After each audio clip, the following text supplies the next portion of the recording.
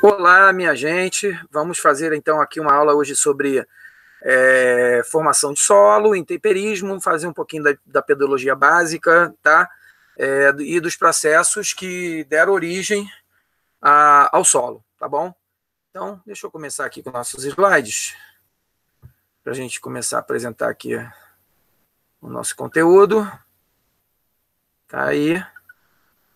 A gente vai lá. Então, olha só. É, primeira coisa é lembrar que a gente está trabalhando com pedologia, né, que é a ciência dos solos, ciência que explica o processo de formação dos solos né, e os processos de conservação desse solo. Tá? Lembrando sempre que o solo é um recurso natural é, finito, então é um recurso não renovável, ele precisa ser conservado, porque senão ele não volta, né? A gente está destruindo ele permanentemente. E lembrar que é do solo que a gente produz os nossos alimentos, né? A nossa vida vem do solo. O planeta Terra, até agora, é o único planeta que a gente descobriu que tem solo. Né? Isso é incrível. Então vamos começar aqui, gente. Então, o, os processos que dão origem ao solo são os processos intempéricos, né? O famoso intemperismo. Claro que junto com o intemperismo você vai ter a atividade biológica liberando matéria orgânica no solo, tá? Mas o processo mais importante de formação do solo é o processo intempérico. Então, o intemperismo, o que é o intemperismo? Intemperismo é o processo que vai transformar um, transformar um corpo rochoso tá, em um material que é conhecido como solo. Tá? É, e existem várias formas de você destruir a rocha e transformá-la em é, solo. Então, vamos começar aqui pelo temperismo químico. Esses dois primeiros aqui são os mais importantes. Temperismo químico, que é a decomposição química das rochas pela água, tá? Então a água ela vai promover a, é, uma série de reações químicas, que pode ser dissolução, hidrólise, oxidação, né? A água reagindo quimicamente com a rocha, e isso vai é, decompondo o material rochoso, né? transformando ele em fragmentos cada vez menores. Tá? É, o intemperismo químico é muito comum em clima úmido, a gente tem que lembrar disso. Sempre quando o clima é úmido, o intemperismo químico ele é predominante. Tá? É, é, um, é o intemperismo protagonista daquele ambiente. Em segundo lugar, você tem o intemperismo físico, que é a desagregação mecânica da rocha, ou seja, é a quebra da rocha. Veja bem, lá no intemperismo químico, é o processo de decomposição, é, um, é uma reação química da água com a rocha, tá? É nada da água batendo da rocha, é a água reagindo com a rocha. O intemperismo físico é a desagregação mecânica, é a quebra da rocha. E como é que a rocha pode quebrar? Ou por variação térmica, que quando a rocha é aquecida ela é dilatada, quando é resfriada ela contrai. Então, dilatação, contração, dilatação, contração, e esse material, uma certa hora, ele fadiga, tá? É, congelamento da água? Como é que seria o congelamento da água? É, é a água em, em, regiões muito frias, a água ela chega na rocha através da chuva, por exemplo, é, e ela penetra em pequenas fraturas, em microfraturas das rochas. À medida que essa água congela, né, com a queda de temperatura, a água ela aumenta de volume, né? Quando a água congela, ela aumenta de volume e ela expande essa fratura. E até pode ser também por fricção, eu não coloquei aí, mas pode ser por fricção, tá? Um grão de areia batendo ali na rocha ao longo de milhões de anos, isso vai uh, ajudar a destruir a rocha também. É claro, gente, lembrem, lembrem bem, esses processos de destruição da rocha são escalas temporais que não são as nossas, tá? Então você precisa lá de milhões de anos para isso acontecer. Depois você tem o temperismo biológico, que é a decomposição química das rochas pelos ácidos orgânicos, ou seja, são os animais morrendo sobre as rochas, são os ácidos orgânicos produzidos pelas plantas, pelas raízes, né, pela decomposição dessa matéria orgânica, liberando ali ácidos orgânicos nas rochas e produzindo também uma reação química é, com essas rochas e também decompondo-as. Tá? É uma decomposição química, só que não é pela água, e sim pelos ácidos orgânicos. E, por fim, você tem o temperismo físico-biológico, que é o crescimento dos vegetais. Quer dizer, uma raiz cresceu numa fratura de uma rocha pré-existente, né? numa fratura pré-existente na rocha. À medida que essa raiz vai crescendo, ela vai se expandindo. E ela vai, ao se expandir, ela vai expandindo a fratura dessas rochas. Então vamos lembrar bem de uma coisa importante, gente. O intemperismo químico ele é protagonista. E ele é protagonista onde? Em climas úmidos. O intemperismo físico ele vai ser protagonista nos climas secos. Por que, que ele vai ser protagonista nos climas secos? Porque no clima seco, além de você ter pouca água, ou até praticamente ausência de água em climas, só, em climas bem desérticos, bem áridos, é, a variação térmica também é muito grande. Porque a água ela cumpre o papel de ser reguladora da temperatura. Como a água tem alto calor específico, ela regula a temperatura. Então, em climas muito secos, você vai ter uma variação térmica, um delta térmico muito grande. Dias quentes, noites frias. Então, isso vai gerando um coeficiente de dilatação cada vez maior. Né? Mas é, durante a noite, a rocha contrai, durante o dia, a rocha se expande. E isso vai acelerando o processo de desagregação mecânica. Agora, vamos lembrar de uma coisa importantíssima, tá? O intemperismo químico, ele atua na superfície e em profundidade, porque é água.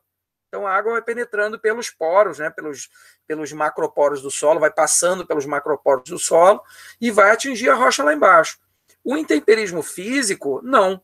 O intemperismo físico só ocorre na superfície e em alguns centímetros de profundidade, ou seja, ele praticamente é, ele é nulo em profundidade. À medida que vai, vai aumentando a profundidade, ele vai sendo eliminado. Enquanto que o químico, é, ele é máximo na superfície, ele obviamente vai diminuindo também com a profundidade, porque é, nem toda a água vai lá para baixo, mas ele consegue atuar com grande intensidade nas camadas mais, mais profundas do solo, tá? É, enquanto que o temperismo biológico ou físico-biológico, eles são coadjuvantes. Eles vão atuar se você tiver muita atividade biológica ali. Se não tiver, eles não vão atuar. Botei dois gráficos para vocês, vocês dão uma olhada nisso. Olha só, esse gráfico aqui é um gráfico clássico, né, mostrando aqui a relação entre os solos e as latitudes. Então, por exemplo, ó, aqui a gente tem latitude alta, ó, vegetação de tundra lá dos polos, né, das zonas peripolares, das periferias dos polos ali. Latitude 60 graus, 62 graus, 65 graus. Então, aqui é, a presença de água é mínima. Repara como o solo aqui é raso pra caramba. Por que, que o solo é raso? porque a água não penetra e não destrói a rocha lá embaixo. Né? Agora, repara que como aqui, aqui é o contrário. Ó. Como aqui eu tenho vegetação tropical savana, que eu tenho baixa latitude, onde chove muito. As, as, as, as chuvas são mais intensas nas latitudes mais baixas. Né? Então, o que, que você tem? É, você tem mais presença de água no ambiente, você tem mais água descendo pelos macroporos, e essa água vai destruir a rocha lá embaixo. Tá? Você vê aqui nos desertos, aqui nas médias latitudes ocorrem muitos desertos, por conta dos anticiclones subtropicais, que você já deve ter estudado em climatologia. Então, nessas áreas desérticas, você vê a presença de água quase zero. Olha como é que o solo aqui é raso ou quase inexistente. Né? Então, existe uma relação íntima entre solo e, profundidade, e solo, clima e profundidade. Quanto mais úmido, mais profundo é o solo. Quanto mais seco, mais raso é o solo. Né? Os solos profundos são normalmente classificados como latossolos, né? solos de grande profundidade. Solos, é, lato significa grande, né? solos que vão ter lá alguns metros de profundidade. Ok? Bom, é, aqui enquanto aqui você vai ter os neossolos, que são solos bem rasos, pouco desenvolvidos. Eu tenho aqui uma outra imagem que eu acho que é mais é, emblemática aí para vocês. Repara que no perfil 1, aí é um, é um perfil de clima seco. Tá? Olha como é que o solo é raso. Tá? E aqui o perfil 2 é um perfil de clima úmido. Olha como é que o solo está bem desenvolvido, com vários horizontes de solo, tá? que a gente vai dar uma olhadinha depois, daqui a pouco. Bom, vamos lá. É, vamos continuar. Então, não, não pode esquecer: solos rasos, clima seco. Por quê? Que o empirismo físico predomina. Solos profundos, clima úmido. Por quê? Porque a grande presença da água, do intemperismo químico, que consegue atuar lá embaixo, destruindo as rochas lá embaixo. Então, esse material todo aqui já foi uma rocha e ele foi sendo destruído pela água. E hoje ele está aqui embaixo. O que sobrou dele está aqui embaixo. Vamos lá. Conceito de solo, gente. O que é solo? Solo é um corpo tridimensional tá, formado pela alteração das rochas. A alteração lê-se o que é intemperismo. Tá? E aí você vai ter o que nesse, nesse solo? Você vai ter sedimentos, tá, que são de origem é, das rochas, sedimentos inorgânicos das rochas, ou matéria orgânica, né? Resultado ali da atividade biológica presente ali na superfície. Agora, repara uma coisa: o solo, para ser solo, ele é capaz de promover o desenvolvimento das plantas. Então, por exemplo, ali na areia da praia, aquilo é solo? Não, aquilo não é solo. Ali é apenas um acúmulo de sedimentos do mar. O mar vai depositando areia ali. Então, o solo tem que ser capaz de permitir o desenvolvimento de plantas, tá? Plantas superiores, né? Vegetais continentais. Então, gente, o solo é composto pelo quê? Solo é, é composto por pela uma fração sólida, uma fração gasosa e uma fração líquida, tá? Vou mostrar para vocês melhor isso no próximo slide. Então, lá, o que é a fração sólida? São as partículas minerais oriundas das rochas, tá? que formadas por areia, silt e argila, vocês vão ver daqui a pouquinho a diferença entre elas. As partículas orgânicas, matéria orgânica, tá? que podem ser os organismos vivos, macrofauna, microfauna, tá? bactérias, fungos, é, é, como também minhocas, né? já macrofaunas, é, insetos em geral. A serrapilheira ou serrapilheira, tanto faz, tá? O que é a serrapilheira, gente? Serrapilheira é é aquele material que acabou de descer no solo, acabou de ser depositado no solo pela, pelas plantas, ou por um animal que acabou de morrer ali, tá? ou os dejetos de animais, e que está iniciando o seu processo de decomposição. Enquanto que o humus já é essa matéria orgânica em estágio já avançadíssimo de decomposição, ou seja, praticamente já terminou o processo de decomposição, tá? O humus é uma, um material ah, estabilizado rico em ácidos úmicos e fúlvicos, tá? onde a decomposição praticamente já terminou. Tá? É, fração gasosa do solo é a atmosfera, o ar atmosférico está presente, está presente ali entre os sedimentos, nos macroporos e nos microporos. Tá? Então ali você vai ter a atmosfera que a gente tem aqui. Tá? É, claro que se aquele solo ficar encharcado de água, esse ar vai ser expulso dali ou se passar uma máquina agrícola em cima e compactar o solo de tal forma que isso pode fazer com que o ar seja expulso. E isso é muito ruim, tá? Porque as plantas é, elas respiram também pelas raízes. As raízes precisam de oxigênio. Então, se você retira o ar do, do solo, você pode comprometer a vida do solo ali. Tá?